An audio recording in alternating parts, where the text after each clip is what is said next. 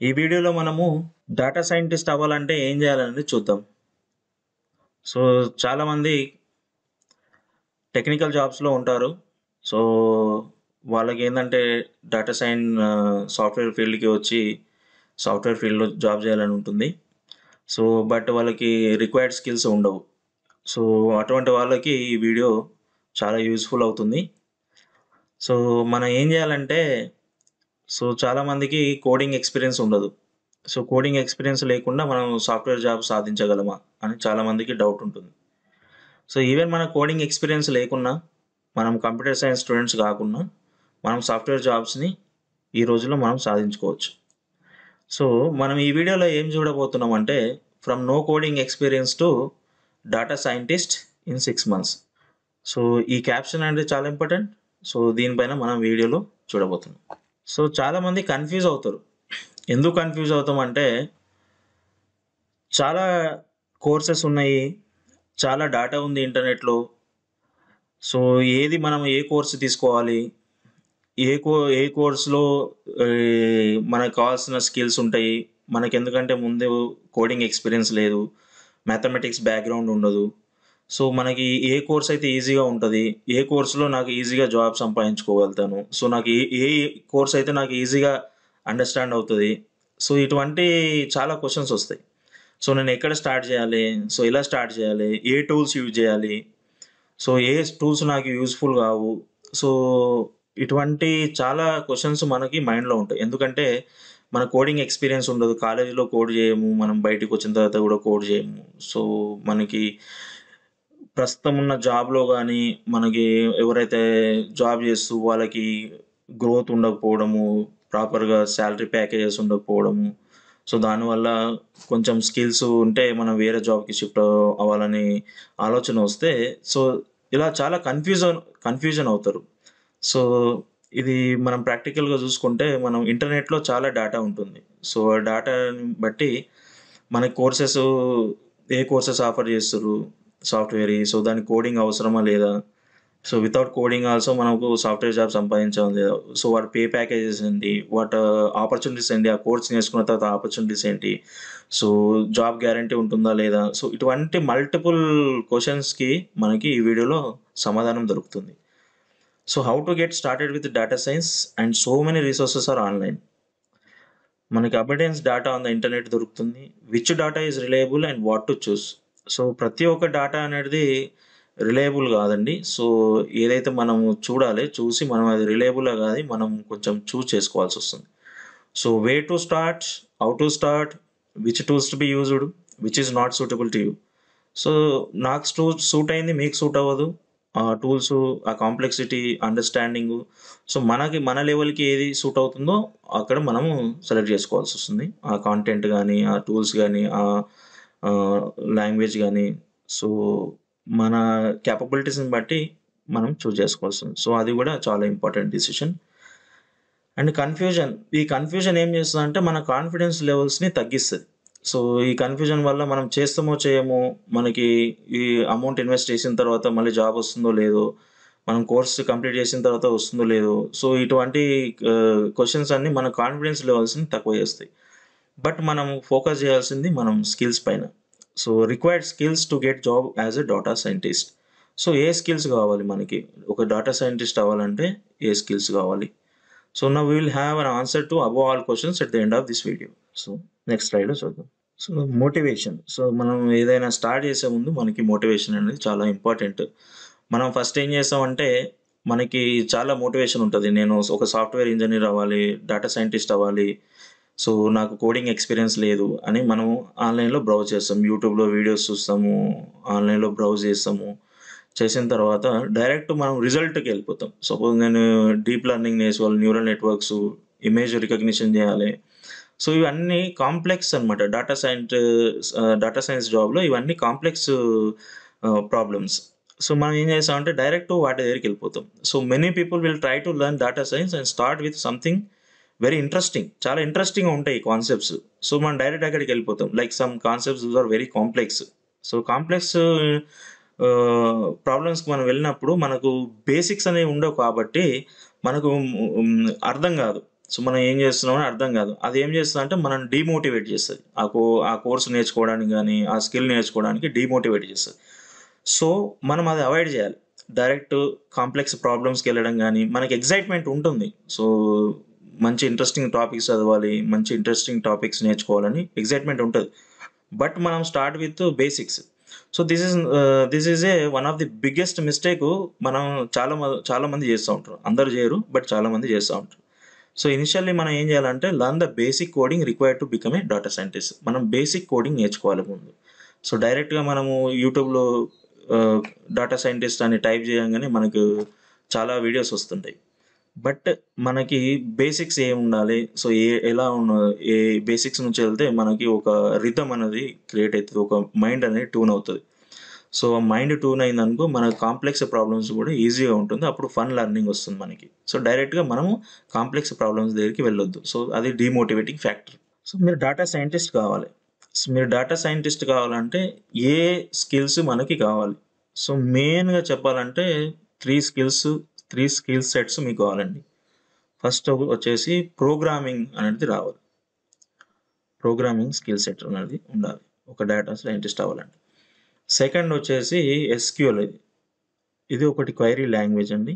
So need to know how to query the data from various databases so simple syntaxes ఉంటాయి. మనకి data scientist కావాలంటే data data కావాలి. Analyse చేయాలంటే. So ఆ data ఇక్కడ store అవుతుంది అంటే డేటాబేసెస్లో స్టోర్ అవుతుంది. సో డేటాబేసెస్ నుంచి మీరు డేటాను తీసుకోవాలంటే ఎస్క్యూఎల్ టూల్ నుంచి మీరు డేటాని తీసుకొని దానిపైన అనాలిసిస్ చేస్తారు. థర్డ్ స్కిల్ ఏంటంటే స్టాటిస్టిక్స్ అని simple mathematics high school mathematics concepts మీకు తెలిసి ఉండాలి. సో కాంప్లెక్స్ కాంప్లెక్స్ స్టాటిస్టిక్స్ మనకు అవసరం లేదు. Simple max minimum mean deviations so simple concepts మనకి తెలిసి ఉండాలి. సో ఇది అనాలిసిస్ పర్పస్ సో ఈ మెయిన్ త్రీ స్కిల్ సెట్స్ అనేది కంపల్సరీ మీరు ఒక డాటా సైంటిస్ట్ అవ్వాలంటే ప్రోగ్రామింగ్ స్కిల్ సెట్ ఉండాలి. మీరు చూజ్ చేసుకోవచ్చు. ఆర్ అన్న ఆర్ లాంగ్వేజ్ అన్నా లేకుంటే పైథాన్ అన్నా చూజ్ చేసుకోవచ్చు. You can choose any language so Python is best అండి. సో పైథాన్ ఇప్పుడు మా మార్కెట్లో కూడా ఇండస్ట్రీలో కూడా చాలా కంపెనీస్లో పైథాన్ని యూజ్ చేస్తారు. సో పైథాన్ నేర్చుకోవడం అనేది చాలా ఇంపార్టెంట్ సో సెకండ్ వచ్చేసి ఎస్క్యూఎల్ అండ్ థర్డ్ వచ్చేసి స్టాటిస్టిక్స్ సో ఈ త్రీ స్కిల్ సెట్స్ అనేది చాలా important as a to become a data scientist so first మనము ప్రోగ్రామింగ్ స్కిల్ సెట్ గురించి చూద్దామండి. ప్రోగ్రామింగ్ స్కిల్ సెట్ సో ఎలా స్టార్ట్ చేయాలి? నాకు అసలు ఏం తెలియదు. స్టార్టింగ్ ప్రోగ్రామింగ్ తెలియదు ఏం తెలియదు. ఎలా స్టార్ట్ చేయాలి? సో ఏ టూల్స్ యూజ్ చేయాలి? సో టూల్ వచ్చేసండి పైథాన్ సో మీరు డేటా సైంటిస్ట్ అవ్వాలనుకుంటే పైథాన్ నేర్చుకోవాలి. సో పైథాన్ ప్రోగ్రామ్ అనేది మన డేటా సైంటిస్ట్ డేటా సైన్స్కి ఒక సపరేట్ ఉంటుందండి. అందులో లైబ్రరీస్ ఉంటాయి. సో కొన్ని లైబ్రరీస్ని మనం యూజ్ చేస్తాం. సో మనం ఫస్ట్ పైథాన్ని ఎలా ఇన్స్టాల్ చేయాలి? ఇది పైథాన్ అనేది ఒక అప్లికేషన్ అండి. సో ఒక యాప్ లాంటిది. సో మనం దాన్ని ఇన్స్టాల్ చేయాలి. మన మిషన్ ఇన్స్టా మన సిస్టంలో ఇన్స్టాల్ చేయాలి. సో ఎక్కడ ఇన్స్టాల్ చేస్తుంటే మనం WW dot Anaconda dot com అని ఓపెన్ చేస్తే మీకు పైథాన్ అక్కడ నుంచి డౌన్లోడ్ చేసుకొని మీరు ఇన్స్టాల్ చేసుకోవచ్చు. అండ్ సెకండ్ ఆప్షన్ వచ్చేసి పైథాన్ ప్రోగ్రామింగ్ మనము ఓవర్ వెబ్ బ్రౌజర్ కూడా మనం చేసుకోవచ్చు.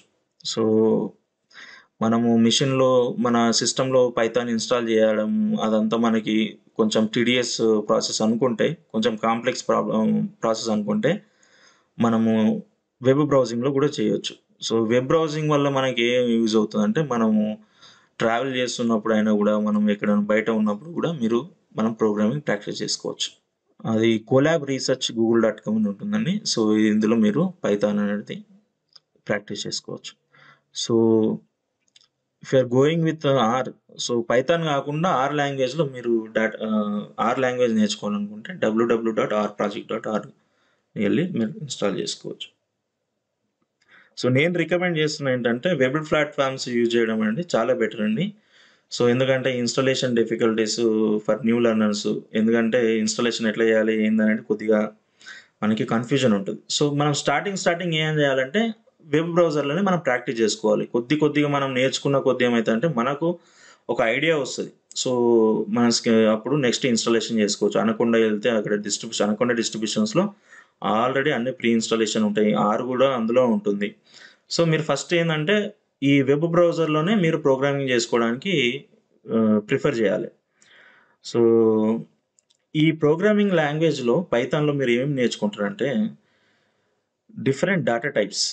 మీరు ఏవైతే డాటాని అనలైజ్ చేస్తారో వాటిలో డాటా టైప్స్ ఏముంటాయి integers strings, floats, boolean so, ఇవన్నీ డాటా టైప్స్ ఉంటాయి. మనం డీప్‌గా వెళ్ళట్లేదు. అంటే పైథాన్ ప్రోగ్రామింగ్‌లో ఏముంటుందని మనం ఈ వీడియోలో చూడము.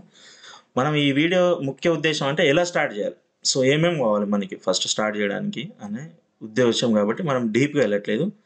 సో, ఫంక్షన్స్ ఉంటాయి. మనం ఏ ఫంక్షన్స్ యూజ్ చేసి అనలైజ్ చేయడానికి పైథాన్ లైబ్రరీస్ ఉంటాయి. సో, మీరు ఒక సమ్ చేయాలనుకుంటే సమ్‌కి ఒక లైబ్రరీస్ ఉంటాయి మనకి. సో సో, ప్రతి ఒక్కటి మనకి ఇందులో మీరు ఈ స్లైడ్ ముఖ్య ఉద్దేశం ఏంటంటే మీరు ఎలా ఇన్‌స్టాల్ చేయాలి? మీరు ఎలా ప్రాక్టీస్ చేయాలి? ఒక ప్లాట్‌ఫార్మ్ ఎలా అనేది. So, but complete Python program గురించి మనం నెక్స్ట్ చూద్దాం. నెక్స్ట్ వీడియోలో చూద్దాం. So, learning SQL. So, second skill set వచ్చేసి మనం SQL language structured query language. So, మనం క్వైరీస్ని రాయాలి. సో, మనం డేటా రిట్రైవ్ చేయాలంటే డేటాని ఇంపోర్ట్ చేసుకోవాలి ఫ్రమ్ డేటాబేస్ అంటే మనం ఒక క్వైరీ రాయాలి. క్వైరీ రాస్తే మనం అక్కడ నుంచి డేటాని డౌన్‌లోడ్ చేసుకోవచ్చు. So, why why learning SQL is important. The data provided for learning environment will clear and clean. So, but మనం ఇప్పుడు నేర్చుకునేటప్పుడు డేటా సైన్స్ నేర్చుకునేటప్పుడు మనకి ఏదైతే డేటా సెట్స్ ఉంటాయో అవి నీట్‌గా ఉంటాయి. స్ట్రక్చర్డ్‌గా ఉంటాయి. సపోజ్ ఏ వేరియబుల్‌కి ఆ వేరియబుల్‌కి డేటా సపరేట్గా ఉంటుంది సో, మనకి ఏమేమి కావాలో అది మనకి నేర్చుకునేటప్పుడు క్లియర్‌గా ఇస్తాం బట్ ఎప్పుడైతే మనం ఇండస్ట్రీకి వెళ్తామో అక్కడ సమ్ టీడీఎస్ అంటే చాలా కాంప్లెక్స్ డేటా ఉంటుంది సో, మనం దాన్ని క్లీన్ చేయాలి. మనకి క్లియర్‌గా ఉండదు. సో, మనం దాన్ని క్లీన్ చేయాలి. సో, ఏ డేటా కావాలి మనకి అనాలిసిస్‌కి, మన బిజినెస్‌కి ఏది యూజ్ అవుతుంది డేటా. సో, దానికోసం మనము డేటాబేస్‌లో డేటా స్టోర్ చేస్తుంది కాబట్టి ఆ డేటాను మనం తీసుకోవడానికి ఎస్‌క్యూఎల్ అనేది ఎస్‌క్యూఎల్ టూల్ అనేది మనకి యూజ్ అవుతుంది data stored in databases will have to fetch from different databases to solve a business problems. So, SQL server platform ఉంటుంది. Teradata so, and could be anything. Suppose చాలా ఉంటాయి. So, but మెయిన్‌గా వచ్చేసి SQL server. So, SQL నేర్చుకుంటే ఏ platform పైన మనం work చేయొచ్చు. So, అదే సేమ్ టెక్నిక్స్ ఉంటాయి. బట్ సమ్ సింటాక్సెస్ చేంజెస్ ఉంటాయి. అవి మనం ఈజీగా నేర్చుకోవచ్చు. బట్ టెక్నిక్స్ మాత్రం సేమ్. ఏ ప్లాట్ఫామ్ తీసుకున్నా టెక్నిక్స్ మాత్రం సేమ్ ఉంటాయి. సో, లెర్నింగ్ ఎస్‌క్యూఎల్ అనేది మ్యాండేటరీ చాలా ఇంపార్టెంట్ మీరు డేటా సైన్ సై సైంటిస్ట్ అవ్వాలంటే. The data accessing techniques learned SQL SQL will not going to change on any platform so, అది మనం ఏ ప్లాట్ఫామ్ యూజ్ చేసినా కూడా టెక్నిక్స్ మాత్రం చేంజ్ అవ్వవు. సో, ఎస్‌క్యూఎల్ లెర్నింగ్ అనేది చాలా important. So, third skill set వచ్చేసి బేసిక్ స్టాటిస్టిక్స్. మీరు పైథాన్ నేర్చుకున్నారు. సో, పైథాన్ నేర్చుకున్న తర్వాత మీరు డేటాబేస్ను ఫెచ్ చేయడానికి ఎస్‌క్యూఎల్ నేర్చుకున్నారు. సో, పైథాన్ ఫంక్షన్స్ యూజ్ చేసి మీరు అనాలిసిస్ చేయాలి డేటాని. సో, ఈ అనాలిసిస్ పార్ట్ ఏంటంటే మన మ్యాథమెటిక్స్, స్టాటిస్టిక్స్. సో, మీకు స్టాటిస్టిక్స్ ఉంటే అది ఆ డేటాని ఏ విధంగా అనలైజ్ చేయాలి? సో, ఏ టు ఏ మెథడాలజీస్, ఏ అల్గారిథమ్స్, ఏ టెక్నిక్స్ యూజ్ చేస్తే మనకి ఒక మీనింగ్‌ఫుల్ డేటా వస్తుందనేది మీకు మంచి స్టాటిస్టిక్స్ పైన అవగాహన ఉంటే సో, మనం ఈజీగా డెసిషన్ తీసుకోవచ్చు. Statistics help you in better understanding the data. So, మనకి ఆ డాటాని సరిగ్గా అర్థం చేసుకుంటే మనం ఆ డాటా నుంచి ఇన్‌సైట్స్ డ్రా చేయాలి. సో, మన బిజినెస్ ప్రాబ్లమ్స్‌కి ఏవైతే యూస్ఫుల్ ఇన్‌సైట్స్ ఉంటాయో ఆ డేటా నుంచి సపోజ్ మనకి ఒక ఏరియాలో ఉన్న సేల్స్ మంత్ వైజ్ కావాలనుకుంటే సో, ఆ మంత్ వైస్‌గా ఉన్న ఏరియా సేల్స్ తీసుకొని ఆ ప్రొడక్షన్ ప్లానింగ్ చేసుకోవడానికి. సో, జూన్, జూలై, ఆగస్టులో ఒక సీజన్ ఉంటుంది. సో, ఆ సీజనాలిటీస్ చెక్ చేయడానికి. సో, దాన్ని బట్టి మనం production planning, logistics planning, manpower planning. So, ఈ basic understanding of the data ఉంటే మనం లాట్ ఆఫ్ బిజినెస్ డిసిషన్స్ అనేది తీసుకోవచ్చు. సో, దానికి యూజ్ అయ్యేది మన స్టాటిస్టిక్స్. సో, స్టాటిస్టిక్స్ కాన్సెప్ట్స్ అనేది చాలా యూజ్ చేస్తారు డేటా సైన్స్‌లో. సో, మీరు స్టాటిస్టిక్స్ పైన పట్టు సాధించాల్సి వస్తుంది so, statistics help you to perform various test that are required to identify patterns that are present in the data. So, డేటాలో సర్టెన్ టైప్ ప్యాటర్న్స్ ఉంటాయి. సో, మార్చ్‌లో సేల్స్ ఎక్కువ ఉంది సో, జూన్‌లో తక్కువ ఉంది. జూలైలో ఎక్కువ ఉంది. సో, సర్టెన్ ప్యాటర్న్స్ కూడా మనం ఐడెంటిఫై చేయొచ్చు స్టాటిస్టిక్స్ కాన్సెప్ట్స్ నుంచి. So way to learn these concepts మీరు ఎక్కడ నేర్చుకోవాలి ఇవన్నీ స్టాటిస్టిక్స్ కాన్సెప్ట్స్ ఇవన్నీ? సో చాలా లర్నింగ్ మెటీరియల్ ఉంటుంది. సో ఏ కాన్సెప్ట్స్ మీద ఫోకస్ చేయాలంటే analysing category categorical data so categorical data analyse చేయడానికి displaying and comparing quantitative data so comparison purpose summarising quantitative data modelling data distributions exploring bivariate numerical data ఇవన్నీ data సైన్స్లో concepts అండి. So related to statistics study design probability counting పర్మి permutations and combination random variables sample distributions so many more so ఈ basic statistics అనేది చాలా required skill set so to become a data scientist so first మనము three tools చూసాం.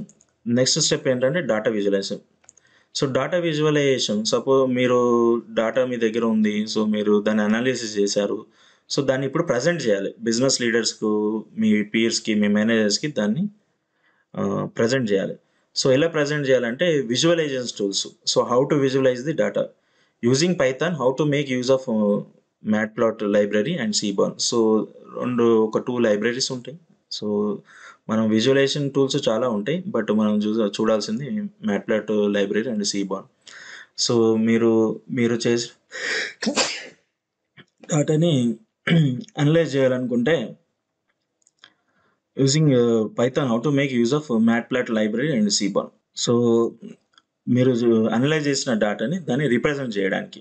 So visualise చేయడానికి ఈ tools ఉంటాయి. ఏవి? Mat plot library and Seaborn visualisation helps clearly in communicating the patterns or insights present in the data. So ఈ tools ఏం చేస్తాయంటే మీకు సర్టన్ ప్యాటర్న్స్ కానీ సమ్ గ్రాఫ్స్ కానీ some X X Y charts so patterns so ఇవన్నీ ఏం చేస్తాయంటే మనకి కమ్యూనికేట్ చేస్తాయి.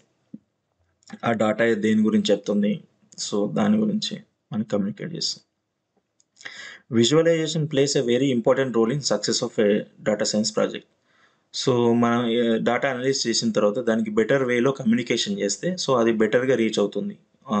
కాన్సెప్ట్స్ అని ఇన్సైట్స్ అని to the leaders and to the interest of the party so మనం అప్పుడే అది డేటా సైన్స్ ప్రాజెక్ట్ అనేది సక్సెస్ఫుల్ అవుతుంది. సో మనం ఇందులో చూసింది ఏంటంటే ప్రోగ్రామింగ్ స్కిల్ సెట్ మనం ఎలా స్టార్ట్ చేయాలి?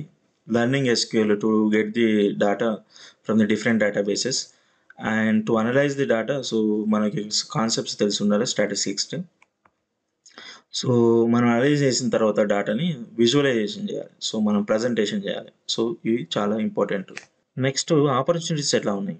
సో నేను ఇది డేటా నిన్ననే తీసుకున్నానండి డేటాని సో తీసుకుంటే నౌకరీలో సో డేటా సైన్స్కి సంబంధించిన స్కిల్ సెట్స్కి ఇక్కడ హైలైట్ చేసిన దాంట్లో చూస్తే మీరు సిక్స్టీ ఎయిట్ థౌజండ్ జాబ్స్ అనేది మనకి ఒక నౌకరీ పోర్టల్లో ఉన్నాయి. సో మనకి ఇండస్ట్రీలో ఎంత డిమాండ్ ఉందో ఈ స్కిల్స్కి మీరు ఈ జస్ట్ ఏ స్క్రీన్ షాట్ చూసి మీరు అర్థం చేసుకోవచ్చు. సో బేసిక్గా కావాల్సింది ఏంటంటే మోటివేషను. సో బేసిక్ కావాల్సింది బేసిక్స్ నేర్చుకుంటే మీకు ఈ కోడింగ్ ఎక్స్పీరియన్స్ లేకుండా మీరు సాఫ్ట్వేర్ జాబ్లు సెటిల్ అవ్వచ్చు. So thank you thank you for for your time